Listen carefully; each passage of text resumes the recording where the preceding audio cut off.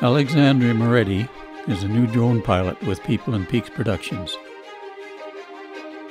He immigrated to Canada from Brazil a year ago and moved to Grande Cache, Alberta.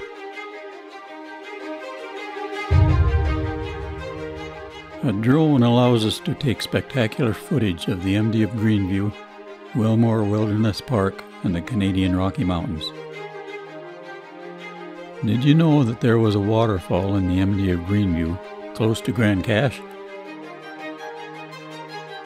Alex decided to fly his new drone and film some of the early spring runoff.